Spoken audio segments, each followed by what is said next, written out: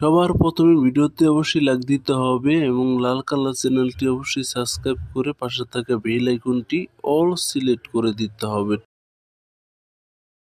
আমরা যে কোনো মোবাইলে যে কোনো ফাইল থেকে একটি সুন্দর ছবি সিলেক্ট করে নিই, তারপর ছবিটিকে ব্যাকগ্রাউন্ডে নিয়ে সুন্দর মতো কালার করে এডিট করে নিই, তারপর ঠিক চিহ্নতে ক্লিক করে আমরা কার্ভে ক্লিক করে, ছবিটি কালার বাড়িয়ে নিই, তারপর আর্ট ফিনিক্সে ক্লিক করে টেম্পারেচার রুটিন বাড়িয়ে কমে একটি কালার করে, তারপর ছবিটিকে আমরা সুন্দর করে এডিট করি, তারপর আমরা ক্লিক করে, সুন্দর করে ব্রাইটনেস ও ব্রাইটনেস বাড়িয়ে কমে সুন্দর মতো ছবিটিকে এডিট করি, তারপর আমরা পিকনিকতে ক্লিক করে আউটার ব্রাইটনেস ওইনার ব্রাইটনেস বাড়িয়ে কমিয়ে সুন্দর মতো ছবিটিকে এডিট করে গ্লামারগুলোতে ক্লিক করে ছবিটিকে গ্লো বাড়িয়ে কমিয়ে ছবিটি গ্যালারিতে সেভ করে নিই